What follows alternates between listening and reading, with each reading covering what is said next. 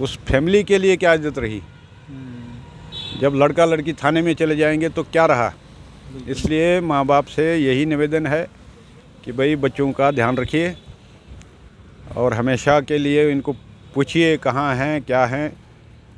Late आई तो क्यों आई? जल्दी जा रही है क्यों जा रही है? ये तो माँ बाप का फ़र्ज़ है। और ख़ासकर प्रिंसिपल का भी फ़र्ज़ है ये कि पार्कों में ज़रा नज़र मारे कि मेरे स्टूडेंट कहाँ हैं। उसको प्रिंसिपल को ये पता नहीं है मेरी अटेंडेंस कितनी लग रही है।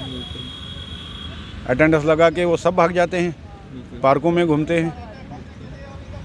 आने से कोई परहेज़ नहीं है डिस्टेंस में बैठे अभी हम हरी सिंह पार्क में हैं और हमारे साथ एक सिक्योरिटी गार्ड है जो हैं हरी सिंह पार्क में इनकी ड्यूटी है और यहाँ पे कुछ समय पहले हमने इनको देखा कि डंडा लेके जो है कुछ बच्चों को डांटते हुए नज़र आए थे। हम इनसे जानते हैं क्या कुछ कारण थे उसके भी अंकल पहले आपसे आपका नाम जानना चाहेंगे और कहाँ रहते हैं आप? मैं खुशीराम नाम मेरा है। मैं बिलोंग करता हूँ किश्तवाड़ से। अच्छा। तो यहाँ तोप में रह रहा हूँ। तो अभी मैं देख रहा था हम वहाँ पे इंटरव्यू कर रहे थे। आप कुछ सोटी लेके कुछ बच्चों को डरा रहे थे कि आप ऐसी हरकतें यहाँ पे ना करें। क्या कुछ पूरा मामला था? वो मामला था वो आपस में यहाँ पास में एक फैमिली थी और वो गलत हरकतें कर रहे थे इसलिए उनको डांटा था मैंने। लड़का लड़की साथ लड़का लड़की हाँ जी। अच्छा। दो लड़के दो लड़कियाँ थी। वो गलत हरकतें कर रहे थे इसलिए हमने उनको डांटा और गेट से बाहर निकाला। हम्म, हम मैसेज देना चाहते हैं उनके माँ बाप को कि भाई ये लड़कियों को आप पूछते हो कि स्कूल गई नहीं गई अटेंडेंस चेक करते हो नहीं करते हो ये कहाँ होती हैं? ये पार्क में होती हैं? शाम को बताएँगी हम स्कूल में थे। माँ बाप का फ़र्ज़ एक बनता है कि हफ़्ते में एक बार अटेंडेंस चेक करे। स्कूल की। तब पता चलेगा उनको कि भाई ये प्रेजेंट हैं स्कूल में नहीं हैं। तो यहाँ ऐसा ही भगदड़ होगी तो बहुत मुश्किल है। यहाँ पे कैमरास भी लगे होंगे जो सिक्योरिटी रूम में आप देखते होंगे क्या कुछ यहाँ पे हो रहा है? हमारे इसमें अंदर में नहीं है सर। अच्छा। हाँ जी। ये रोड पे हैं इधर नहीं है। अंदर वाली साइड पार्क वाली साइड नहीं पार्क वाली साइड नहीं है। अभी वो लगा रहे हैं। अच्छा। अब पता नहीं कब तक लगेंगे। तो आपको किसी ने मतलब शिकायत की कि यहाँ पे इस तरह की कुछ हरकत हो रही है? हम सर दस दस मिनट के बाद चक्कर लगाते हैं। अच्छा। जब हमें नज़र आता है हम डांटते हैं। अच्छा। क्योंकि हम भी परिवार वाले हैं। बिल्कुल। हमें भी बच्चे हैं। हम नहीं चाहते कि भी ऐसी हरकत हो क्योंकि माहौल इससे ख़राब होता है। यहाँ लोग कई लोग फैमिली लेके आते भी नहीं अब। हाँ। इस वजह से। यहाँ के लड़के मानते नहीं। इधर से कुछ बोलो उधर से वो दाड़ा मारने को आ जाते हैं। अच्छा ऐसा होता है? हाँ जी होता है। कई बार हुआ हमारे अच्छा। साथ। उधर से बोलते हैं तुम्हारी क्या लगती है? अच्छा। क्या जवाब है हमारे पास? ये है ये हाँ स्ट्रिकनेस होनी चाहिए।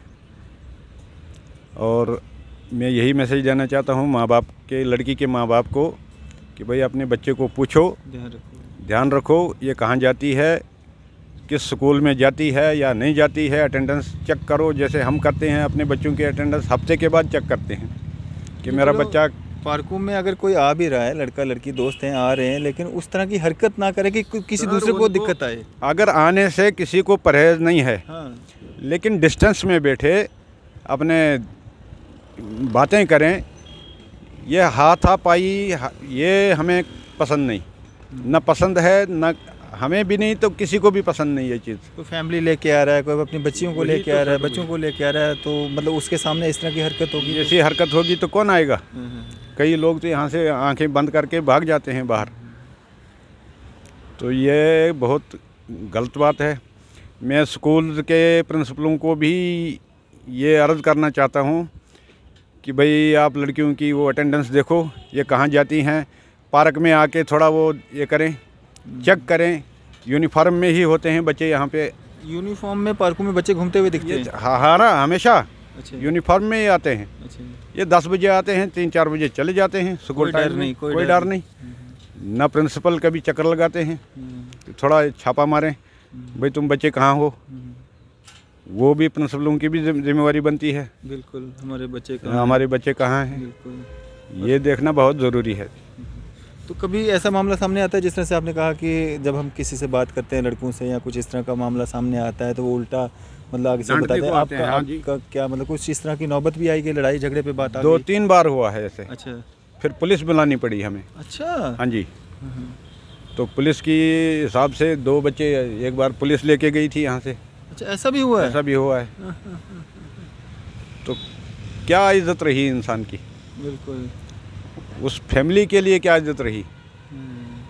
जब लड़का लड़की थाने में चले जाएँगे तो क्या रहा? इसलिए माँ बाप से यही निवेदन है कि भाई बच्चों का ध्यान रखिए और हमेशा के लिए इनको पूछिए कहाँ हैं क्या हैं। लेट आई तो क्यों आई? जल्दी जा रही है क्यों जा रही है? ये तो माँ बाप का फ़र्ज़ है। और ख़ासकर प्रिंसिपल का भी फ़र्ज़ है ये। कि पार्कों में ज़रा नज़र मारे कि मेरे स्टूडेंट कहाँ हैं। उस प्रिंसिपल को ये पता नहीं है मेरी अटेंडेंस कितनी लग रही है। अटेंडेंस लगा के वो सब भाग जाते हैं पार्कों में घूमते हैं। आने से कोई परहेज़ नहीं है डिस्टेंस में बैठें तमीज़ से बैठें पार्क उसी लिए बना है हाथा हाथापाई के लिए नहीं बना है। कुछ और भी पार्कें हैं जहाँ जो काफ़ी बदनाम है वहाँ पे फैमिलीज़ जाना पसंद नहीं करती पसंद नहीं करती, हाँ क्योंकि। खुलेआम वहाँ पे मतलब उस तरह की हरकत होती है और पुलिस भी जो है वहाँ पे गश्त लगाती है हाँ लेकिन हाँ जिस टाइम जिस समय वो गश्त लगता है कुछ लोग पकड़ में आ भी जाते हैं कुछ नहीं भी आते हैं और पूरा दिन उस तरह की कार्रवाई। अब हरी सिंह पार्क का ज़्यादातर एरिया जो है ये खुला है यहाँ पे मतलब दिखता है आसपास। लेकिन फिर भी हर इस तरह की हरकत से बाज नहीं आती शर्म नहीं इनको। हम्म, साथ में रोड है ओपन है यहाँ से लोग तमाशा देखते हैं रोड से। हम्म, कोई शर्म नहीं उनको। हरकतों से बाज आते नहीं हैं। और ख़ासकर ये स्कूल और कॉलेज के लड़के।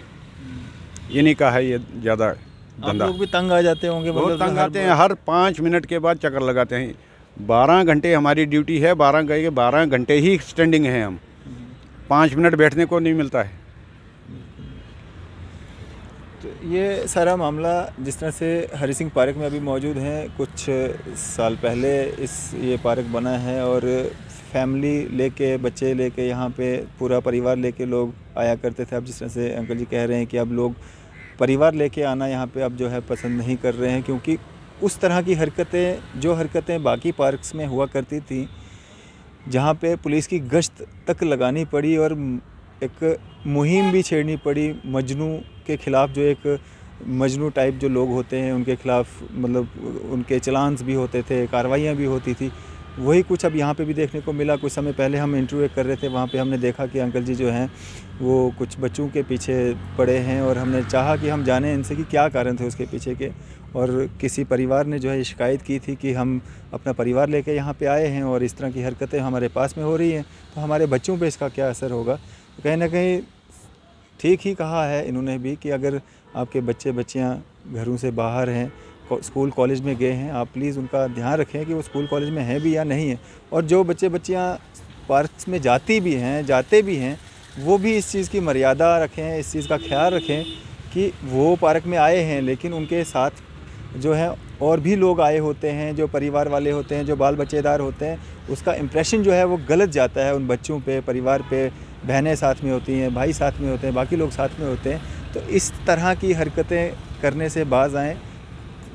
सरेआम, खुलेआम, पार्क्स में क्या एक मैसेज आप देना चाहते हैं? जम्मू की एक सभ्यता, एक शर्म जो है, उसको आप कहीं ना कहीं एक नीलाम करने की कोशिश कर रहे हैं। इस तरह के लोग सारे नहीं, कुछ इस तरह के लोग हैं जो इस तरह की हरकत जो है खुले में करते हैं। तो कहीं ना कहीं उस तरह के लोगों पे कार्रवाई भी होनी चाहिए और जो एक माहौल को ख़राब करने की कोशिश करते हैं, उनके लिए जो है सिक्योरिटी यहाँ पे हर वक्त जो है, हर पाँच मिनट में जो है राउंड अप करती है कि इस तरह की कोई हरकत ना हो। और फैमिलीज़ यहाँ पे आती हैं, उसका भी मद्देनज़र रखें आप जितने भी स्टूडेंट्स हैं और आएँ, शौक़ से आएँ, लेकिन अपनी पढ़ाई भी करें, अपने स्कूल कॉलेज का ध्यान भी रखें पार्क्स में भी आएँ, अपने दोस्तों को भी लाएँ गर्लफ्रेंड्स हैं, उनको भी लाएँ, लेकिन अपनी हरकत जो हैं उनसे बाज रहें इस तरह की कुछ मिस जो इस तरह की चीप हरकतें ना करें जिससे दूसरों को परेशानी आए। इसी तरह की मजीद अपडेट्स के लिए आप देखते रहें न्यूज़ सर इंडिया। मैर फजम डैंग कैमरामैन शाहनवाज के साथ।